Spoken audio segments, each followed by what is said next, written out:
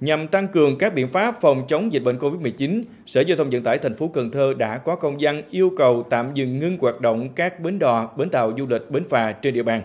Tuy nhiên, bến đò Giàm Sáng xã Nhân Nghĩa, huyện Phong Điền vẫn còn đưa trước khách. Lý do gì sao? Mời quý vị cùng tìm hiểu.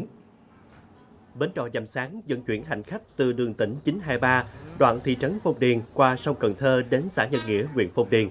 Trước tình hình dịch bệnh diễn biến phức tạp, bảy bến đò khách ở huyện Phong Điền đã tạm ngưng hoạt động. Tuy nhiên, bến đò Dầm Sáng vẫn vận chuyển hành khách qua sông hàng ngày. Bến Dầm Sáng thì hiện nay á, là à, giáp với cái răng thì cái răng đã thực hiện theo chỉ thị 16 là giãn cách và giáp cho Thành A thì là Châu Thành A cũng đã thực hiện giãn cách mà nếu mà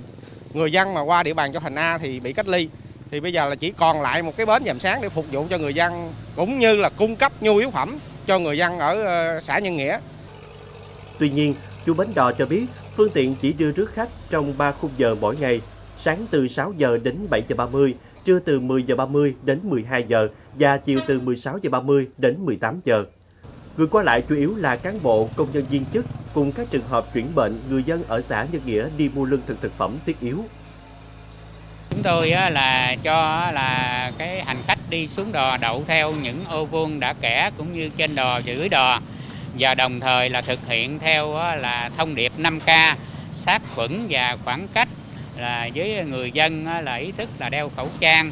là, để khi qua đò đối với bao cấp cứu và à, khám chữa bệnh thì chúng tôi là đều phục vụ không nói đến giờ giấc, là đều có à, người là trực ở tại đò 24 trên 24. Chúng tôi đã bố trí cái lực lượng là túc trực là sẵn sàng ngoài việc đó là khai báo y tế cài đặt bờ lưu zone cũng như là kiểm tra về cái người từ cái nơi khác đến là qua cái chốt của cái bến đò dầm sáng thì chúng tôi cũng có một cái lực lượng là túc trực tại bến đò để điều tiết về cái số lượng là xe cộ qua sông thì đảm bảo là không quá 10 người trên một cái chuyến đò là khi là từ bến Nhân Nghĩa về là cái bến của ờ, thị trấn Phong Điền.